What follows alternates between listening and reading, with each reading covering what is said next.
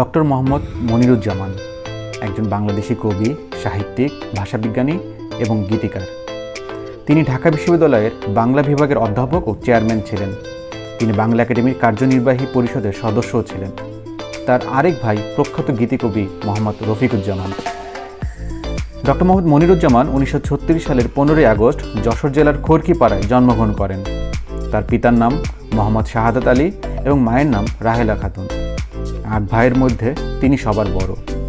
উনিশশো সালে যশোর জেলা স্কুল থেকে এসএসসি এবং উনিশশো পঞ্চান্ন সালে রাজশাহী সরকারি কলেজ থেকে এসএসসি পাশ করেন। পরবর্তীতে ঢাকা বিশ্ববিদ্যালয় থেকে বাংলা ভাষা ও সাহিত্যে উনিশশো আটান্ন সালে স্নাতক এবং উনিশশো উনষাট সালে স্নাতকোত্তর উভয় পরীক্ষায় প্রথম শ্রেণীতে উত্তীর্ণ হন। উনিশশো ঊনসত্তর সালে তিনি ঢাকা বিশ্ববিদ্যালয় থেকে পিএইচডি ডিগ্রি অর্জন করেন। মোহাম্মদ মনিরুজ্জামানের লেখা কয়েকটি জনপ্রিয় গান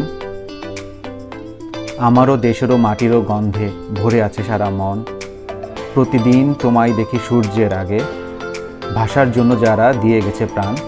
বাংলাদেশের স্বাধীনতা লক্ষ প্রাণের দাম। হলুদ বাটো, মেহেন্দি বাটো।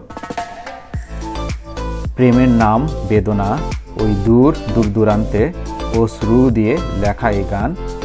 তুমি কি দেখেছ কভু জীবনের পরাজয়? দু হাজার আট সালে তিন সেপ্টেম্বর তিনি মৃত্যুবরণ করেন। বাংলাদেশের গীতিকার এবং সুরকারদের জীবনী এভাবে জানতে গান গল্পের চ্যানেলটি সাবস্ক্রাইব করে রাখুন। ধন্যবাদ।